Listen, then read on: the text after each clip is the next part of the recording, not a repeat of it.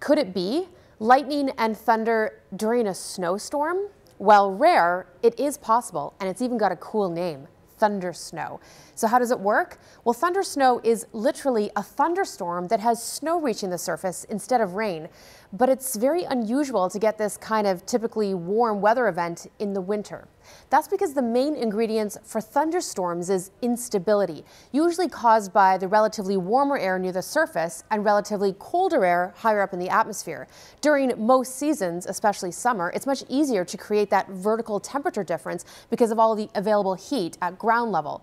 But that's much harder in the winter because, well, winter. But there are exceptions. If the air above is much colder than the air below, even if the air near the ground is close to zero, you can still get that temperature difference vertically needed to create instability.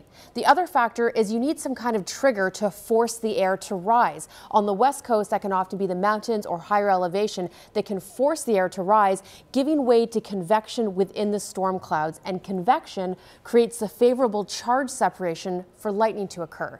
But thunder snow, while rare everywhere, is actually more common with lake effect snow in the Great Lakes.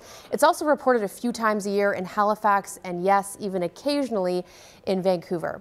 Just like the intense rain and hail that comes with thunderstorms, thunder snow can produce snowfall rates in the range of 5 to 10 centimeters per hour, leading to whiteout conditions.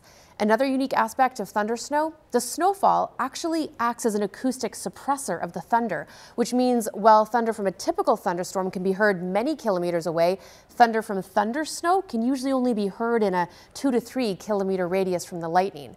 So the next time you hear thunder during a snowstorm, tell me, I want to know. And now you're science smart. If you have a science question on your mind or hear thunder snow, send me a tweet and I'll try to get it answered.